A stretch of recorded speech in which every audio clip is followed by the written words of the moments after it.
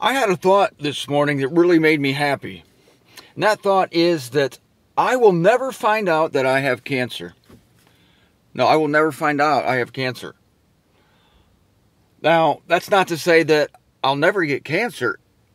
It's just to say that I'll never find out about it. Why? Because I'm never going to get a checkup. I even I have not had a medical checkup in 20 years, 30 years, and I don't plan on having one. But Martin, you're over 50. You should get a checkup at least every year. Nope, not going to do it. I'm just going to continue to take care of myself, to eat right, smoke an occasional cigarette, walk six miles a day.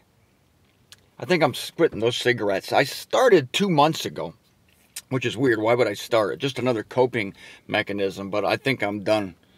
So, anyway, the worst part about getting cancer is finding out the news that you have cancer, and many times it's wrong anyway. So you pay somebody a lot of money to go find out that you, quote, have cancer, unquote. You go to get a second opinion and you find out, no, you really don't have cancer. And then, of course, you enter their world and they will tell you how they can cure your cancer. And their solution is to cut and burn, which is, of course, that is surgery and chemotherapy. And it is more damaging sometimes than the disease itself. So I'm just out of that whole thing. So I'll never find out. It's great one day I'll just get a bad stomach ache and uh, three months later I'll be dead and somebody will say, oh my God, what happened to Martin Zender? Oh, he had cancer. Oh, why didn't he do anything about it? Oh, he never found out he had it. it just delights me. Okay, back to First Corinthians. Why not just say, I'm speaking to Paul now, or I'm speaking hypothetically for you toward Paul, I would never ask Paul this question. Why not just say believers and unbelievers and leave it at that? No, Paul considers it important to divide believers into two groups. I'm sorry, to divide unbelievers into two groups so that you won't be tricked or deceived by the religious unbeliever group. So Paul needs to tell you that there are two kinds of unbelievers, and then he distinguishes them again from those who are called. This tells you that religious people are not called. You remember that? I don't have to read it again. 1 Corinthians chapter 1. I'm going to go back there at the end of this talk, at the end of the week. I'm going to go to Philippians chapter 1 like soon-ish, like now. So religious people are not called. They're just as not called as obvious unbelievers. What's the common denominator in religious unbeliever and worldly unbeliever? What's the common denominator? Is it not unbeliever? But it's not enough for Paul to say there are believers and unbelievers. He has to bifurcate and say there are two branches of unbelievers so that you won't get screwed up, so that you won't be deceived. All right, what is the destiny of these two branches of unbelievers? For this, I'm going to Philippians chapter 1. Paul is telling us in Philippians chapter 1, verse 27 Be citizens, walking worthily of the evangel of Christ, that whether coming and making your acquaintance or being absent, I should be hearing of your concerns, that you are standing firm in one spirit. This is my desire for you also, that you be standing firm, that you not be blown about by every wind of teaching. You don't owe everyone a hearing. You must be discerning. You must be able to divide today, to make judgments between light and darkness, between Christ and Belial, between belief and unbelief. Paul's concerned about this. He wants to hear about it. He wants to hear that they're standing firm in one spirit, one soul, competing together in the faith of the evangel, competing together. I'm going to have more faith than you. Oh, yeah, I'm going to have more faith than you. Great. That's a good kind of competition. Competing together in the faith of the evangel. And how do you have more faith? By not seeing more things, by, by seeing nothing. Um, I'm sick and I still believe I have cancer and I still believe. How do you know you have cancer? You've never gotten a checkup. That's a good point. How about that? What kind of competition is that? You don't hear about those competitions. People compete for gold medals, people compete for a higher wage. But Paul competes to see who can suffer the most in the evangel. Remember, Paul, when he lists his credentials to be an apostle, he boasts in his weakness. He tells you how he's been stoned, he's been shipwrecked, he's been beaten five times by the Jews, he's been in danger in the city, in the wilderness, by false brethren. These are his credentials because he's competing together in the faith. I still have faith, and I've been beaten five times by the Jews. Chalk one up to Paul. Okay, Paul. Apostle Paul 1, Martin Zenderden 0. I have not been beaten yet by the Jews.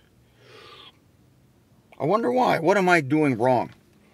So Paul says competing together in the faith and not being startled by those who are opposing.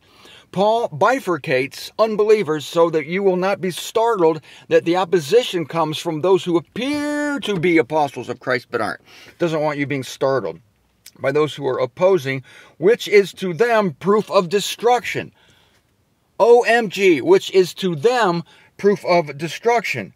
That is those who are opposing you those who are opposing the truth, and you present the truth, don't you? Present the truth when you tell people about the salvation of all, you tell people about the sovereignty of God, you tell people about the two evangels, you tell people about the diabolical falseness of the Trinity, and you're opposed. Every time somebody opposes you, it's proof. Paul, you, I love this word proof. I love this word. Proof. It's proof. We're afraid to see proof. We're afraid to see evidence. We're afraid in concrete things. Paul says it's proof. I'm told all the time, you're not supposed to make a uh, judgment, Martin, on who's a believer and who's not. No, I have proof that somebody's going to be destroyed. I have proof. What's your proof, Martin? They oppose the truth. They just proved something. It's proof to them of destruction. It's not proof to them, it's proof to you of them, yet of your salvation. This just keeps getting better. You being opposed, especially by the religious branch of unbelievers, is proof of their destruction. It's almost like when this destruction is temporary loss. They're going to miss at least the next eon, eon four. Um, it's easy to see, you don't need proof that a complete atheist who says he hates Christ, says he doesn't believe that Jesus ever lived, what proof do you need that that person is going to experience loss for the eon or the, possibly the eons? What proof do you need? You don't. The proof we need comes from the hypocrite branch. As I said yesterday, uh, clowns to the left of me, jokers to the right. That would be the clowns, the left of me, the religious unbelievers. The proof is needed because those are that's the deceptive branch of the unbelievers that's the deceptive branch that those are the hypocrites so this opposition is proof of their destruction yet of your salvation. And this from god. This is from god. What i'm reading to you is from god. And i just happen to be giving it to you but it's from god via paul via your friend martin zender. For to you it is graciously granted for Christ's sake, not only to be believing on Him, but to be suffering for His sake also. And you're suffering for His sake when you are being opposed by religious unbelievers. Remember, Jesus Christ's worst pain was suffering at the hands of His brothers. Paul's unintermittent pain in Romans 9 2 was a result of being uh, indirectly persecuted by the mass unbelief of his own nation. That hurts. So it's been graciously granted you because suffering is the coin of the realm in the next life. Suffering is what you want now. You'll be able to turn in a penny of suffering and get $100,000 worth of glory. This is from God, for it is graciously granted you for Christ's sake not only to be believing on him. See, I emphasized that part of this verse before. Graciously granting, granted you to be believing on him. Belief is a gracious gift of God. imposed on you, but also to be suffering for his sake also. So those who are opposing, this verse also proves that they're not believers. Those who are opposing proof of their destruction, yet of your salvation, because it's graciously granted to you to believe. See, it's graciously granted you to believe. Paul puts this in opposition to those who are opposing you. Therefore, those who are opposing you have not been graciously granted to what? To believe. They're unbelievers. And there are two kinds of unbelievers religious unbelievers and worldly unbelievers. The worldly unbelievers are easy. That's why I hardly talk about them. Why bother? It's so self evident. I talk to you mainly about religious unbelievers because that's the shock. And it's proof of their destruction, of loss. This goes right around, right along with Galatians 5 that they are enemies of the cross. Where is that? Is that Galatians 5? where? For a while I thought it was Philippians. I said Philippians yesterday, and then I looked it up. I thought I was wrong, and they said it must be Galatians. It is Philippians. Why did I doubt myself? It's Philippians chapter 3. I gave you a wrong reference then yesterday. I think there is another reference to I think there is another reference to enemies of the cross in Galatians. Uh, there probably is. Paul says, Remember, become imitators of me, be noting those who are walking thus, according as you have us for a model. For many are walking, of whom I often told you, yet now I'm lamenting. This is the same kind of lament he has in Romans 9 2. Same kind of lament the unintermittent pain in his heart for his brethren and sistren according to flesh. I'm lamenting who are enemies of the cross, whose consummation is destruction. And what does he say in that's also in Philippians, same chapter. That makes sense now. Philippians 3, Philippians 1, their end is destruction. Paul says to them it's proof of destruction. Now he's giving he's giving the proof in chapter 1. That is their opposition of you. Okay, I want to end the week if I have time here, in First Corinthians, uh, back to First Corinthians chapter 1, uh, there are not many wise, not many noble. That's verse uh, 26 and 27. The stupidity of the world God chooses. Remember, stupidity, that's what the cross is to the Greeks. The cross is a stumbling block, a snare to the Jews. But to us, the cross is the power and wisdom of God. Watch this. Not many wise, according to flesh, not many powerful, not many noble but the stupidity of the world God chooses that he may be disgracing the wise. And the weakness, uh, I knew that was Philippians yesterday. I, I knew it. And I said Philippians, and I second guessed myself, and I put on the screen that it was Galatians. Made me look like I didn't know what, what I was talking about. But in fact, I did. Okay. Stupidity of the world God chooses that he may, that he may be disgracing the wise, and the weakness of the world God chooses that he may be disgracing the strong. And the ignoble and the contemptible things of the world God chooses purposely, and that which is not, that would that is that which is not of any reputation, is not of any esteem, is not of any obvious nobility. That he should be discarding that which is. Everything is the opposite uh, is going to be the opposite of what you see today. And in God's mind, everything is the opposite of what you see today. That which is the epicness of the world, the star power, is being discarded. So that no flesh at all should be boasting in God's sight. Yet you are of Him. You are in Christ Jesus, who became to us, Christ Jesus became to us wisdom from God, besides righteousness and holiness and deliverance that according as it is written, He who is boasting in the Lord, let him be boasting. Did you know that God makes stupid the wisdom of the world? Verse 20 of 1 Corinthians 1. I'm going to end with this. God makes stupid the wisdom of the world. And he says this, and I love this, verse 19. It is written, I shall be destroying the wisdom of the wise. I told you yesterday, uh, the, the jokers to the right of me, he's going to destroy their wisdom, all their highfalutin, uh, cerebral shenanigans on behalf of themselves. All their complicated opinions and their arrogance is going to be destroyed.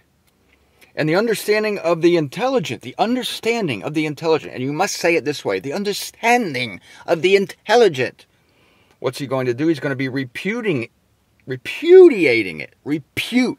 Pew. You hear that word in there? Repute. It's not really in there. That's just me. But it's repudiating it. Where is the wise? Where is the scribe? Where's the discusser? You must say it that way. Where is the discusser of this eon? Does not God make stupid the wisdom of the world? For since in fact in the wisdom of God the world this is good. For, keep, for since, in fact, in the wisdom of God, the world through wisdom knew not God, God delights through the stupidity of the heralding to save those who are believing. He delights through the stupidity of advertising a naked man on a cross. He loves it. That that's the thing that upsets people, that makes the religious people uh, claw like dogs trying to impress him, that makes the worldly people roll their eyes and say, "That's the stupidest thing I ever heard." I ever heard. God loves doing this. He chooses the stupid thing. Here's what the world doesn't understand. They think that our poor God is competing with the discussers and the so-called self made brilliant people of this world. They think he's trying to compete with them. And they're so smart. They're inventing uh, great electronic devices. They're inventing supposedly great cures in the medicine world. They're building tall buildings. And what does God have to offer in this game? Uh, Noah's Ark. Uh, the story of Adam and Eve. Uh, a man dying on a cross. This is what, this is the best God can do. And the smart people who are building things and impressing us with their movies and television shows and their great songs and their and their computer programs and their software and their building materials. Oh, ooh. They're laughing at this. But their their huge mistake is that God is not trying to outdo them with his wisdom because we haven't even seen the wisdom of God. All we've seen so far is the stupidity of God. But according to this testimony, the stupidity of God is wiser than humans. The stupidity of God is wiser than humans. So all these people who think they're so great and so wise, they're going to find out that actually Noah's Ark exceeded in brilliance their schemes by a hundredfold. It's actually embarrassing. Their schemes are embarrassing, not Noah's Ark. Noah's Ark was brilliance afloat. The story of Adam and Eve, that's not a story, that's our history. That's human history. But it's not as smart as evolution, is it? Oh, it's not as smart. It's not as complicated. Doesn't give as much glory to humanity. Not that evolution does. How smart do you have to be to evolve from a tadpole? I don't get it. So we're created at once by God. That's the truth. But God's not trying to impress these people. He's doing, he's using his foolishness. We haven't seen his wisdom yet. Imagine when you see his wisdom. And he's going to prove to these people that even though his ark exceeds in wisdom their wisest schemes they could come up with. That's, I would call it funny I would call it a funny thing that these people actually think that, except that it's tragic.